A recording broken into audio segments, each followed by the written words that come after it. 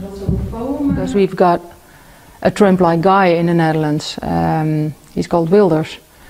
And uh, we wanted to do something, uh, make a sound, make a statement, make an artistic movement to show solidarity with everybody.